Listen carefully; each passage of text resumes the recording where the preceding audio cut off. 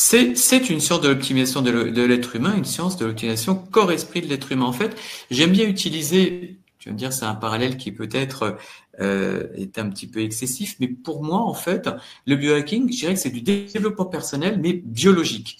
Euh, C'est-à-dire qu'en fait, on vraiment se repose sur la biologie. Tout à l'heure, quand je te parlais d'énergie, hein, euh, on, on, va vraiment utiliser cette notion de comment faire pour augmenter cette énergie cellulaire. Ce qui est très intéressant, c'est de comprendre que il faut vraiment retirer toute la frontière entre le corps et l'esprit et que cette idée de se dire qu'il y a d'un côté le développement personnel, de l'autre côté il y aurait le biohacking, c'est finalement quelque chose qui n'est pas complètement fondé. J'aime bien prendre l'exemple de Tony Robbins. Tony Robbins, bon, c'est un des, des, grands noms du coaching aux États-Unis. C'est vrai que Tony Robbins encourage toujours euh, les personnes lors de ces séminaires à se tenir droit, à, euh, à, faire une posture de gorille, à sauter dans tous les sens. Euh, et il dit que ça développe l'énergie.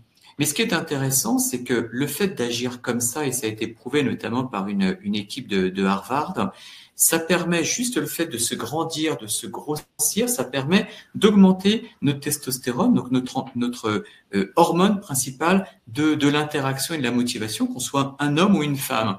C'est-à-dire qu'en fait, il y a plein de choses qui sont faites ou qui sont suggérées en développement personnel, mais qui finalement ont une réalité biologique.